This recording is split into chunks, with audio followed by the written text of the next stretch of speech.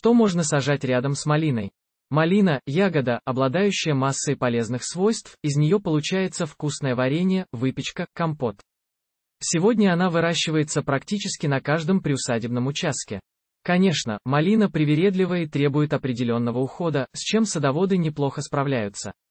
Но редко кто задумывается, что можно сажать рядом с малиной, чтобы повысить ее плодоносность.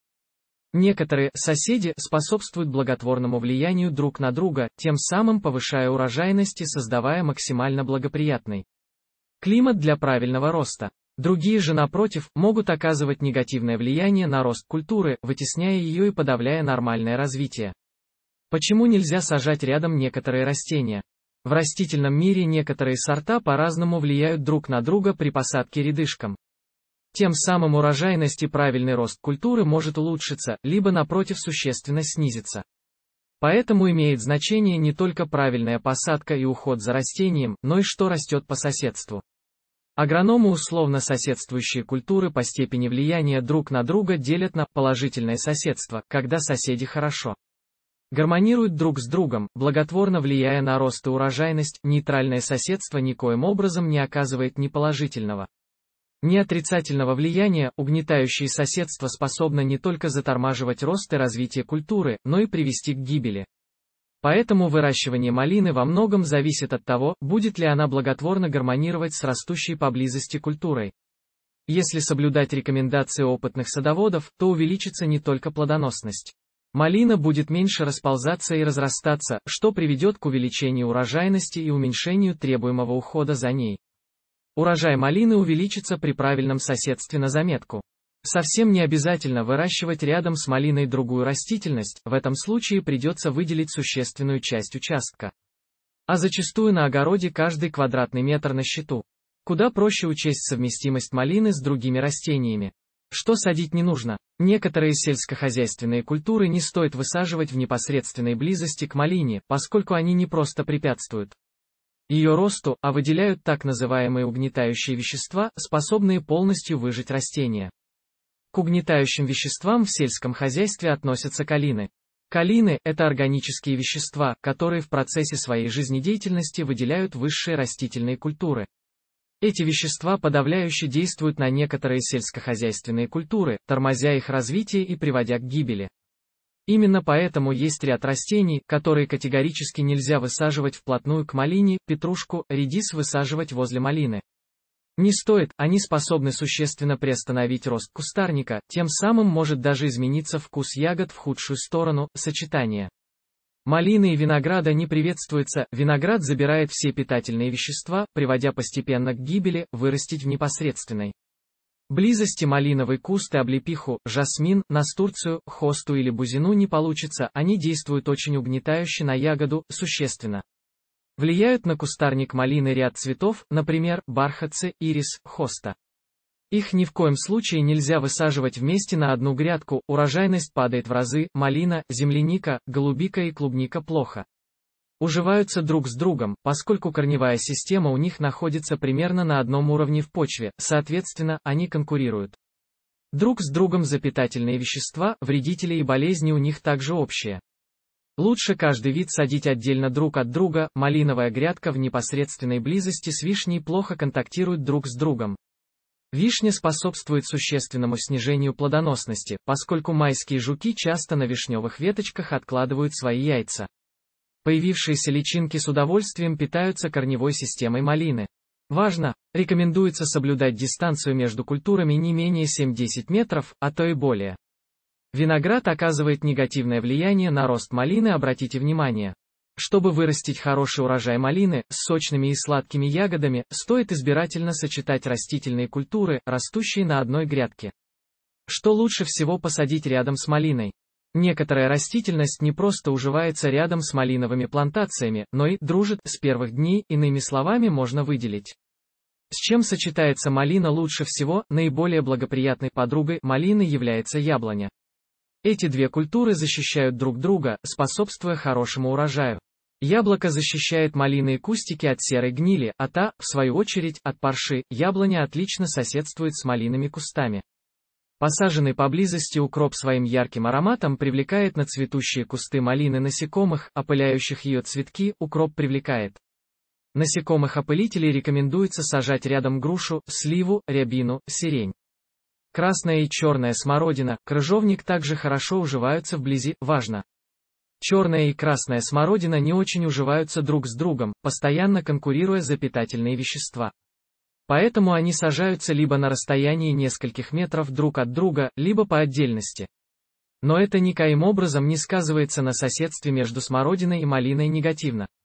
Важно, многие дачники, пытаясь добиться наилучшего эффекта, высаживают смородину и яблоню в непосредственной близости от малинника одновременно. При этом они не задаются вопросом, а можно ли яблоню сажать рядом со смородиной. Эти культуры хорошо гармонируют друг с другом при условии посадки на расстоянии нескольких метров, так как смородина любит разрастаться. Смородина, хорошая подруга, малийный ряд декоративно цветущих растений будет способствовать росту новых побегов, розы, можжевельник. Барбарис, пионы, хорошо соседствуют поблизости огурцы, томаты, картофель. Эти культуры благотворно влияют друг на друга, у малины улучшается вкус ягод, сочетается с малинными плантациями ежевичник. Более того, многих интересует, малина переопыляется или нет. Однозначно можно сказать, да.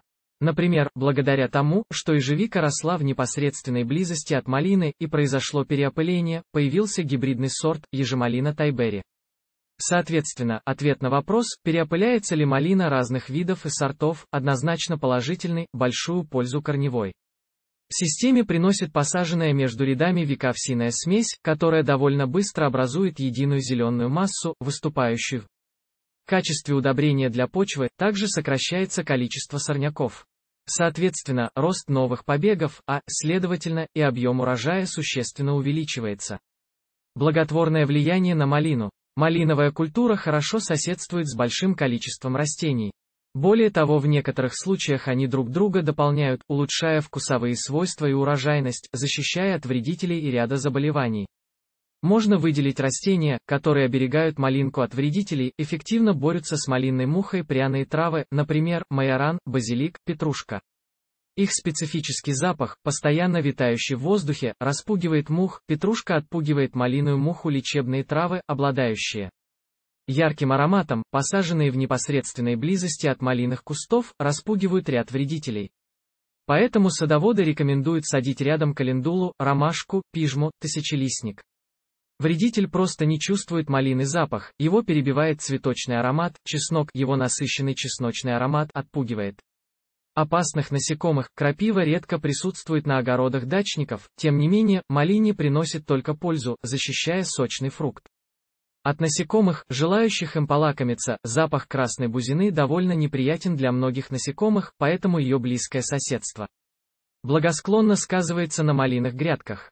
Для ряда растений малина сама является агрессором, который медленно, но уверенно захватывает территорию, постепенно разрастаясь и превосходя свой участок. Но есть культуры, препятствующие ее активному размножению, если вокруг участка с малиной посадить щавель, то разрастание малины прекратится. Поскольку щавель обладает определенной кислотностью, не дающей расползаться корневой системе малины, важно. Ширина щавельной посадки должна составлять не менее 0,5 метра. Метлица, по мнению ряда агрономов, является сорняком, от которого они очищают свой сад. Но если посмотреть на это с другой стороны, она хорошо сдерживает распространение малины, так как ее корни глубоко уходят в грунт тем самым препятствуя бурному росту корневой системы ее соседки, а также сохраняет влагу в почве, уменьшить поросль малинового кустарника. Поможет такой сосед, как кукуруза, стручковая зеленая фасоль способна существенно уменьшить поросль, так как в процессе роста их. Корневая система выделяет специфические компоненты, которые подавляют рост новых малиных побегов. Выбирая, что можно посадить рядом с плантациями малины, стоит руководствоваться рекомендациями бывалых агрономов и запомнить один. Раз, что можно сажать поблизости, а какой овощ или фрукт исключить из друзей. Разный сосед оказывает свое действие на малину, положительное, нейтральное или негативное. Беспроблемно соседствуют поблизости ежевичные и малины участки, яблоневые посадки, смородина. Малина и ежевика хорошо соседствуют, также стоит не забывать о требуемом ягоде уходе, высадить ее стоит в открытый грунт каждую осень. Проводить при необходимости обрезку и пригибание. Если зима ожидается суровой, использовать укрывной материал. Это относится ко всем сортам малины, вне зависимости растет на кусте желтый плод или красный. В качестве награды будет большой урожай, из которого можно сделать наивкуснейший летний десерт, например, муссово-клубничный торт.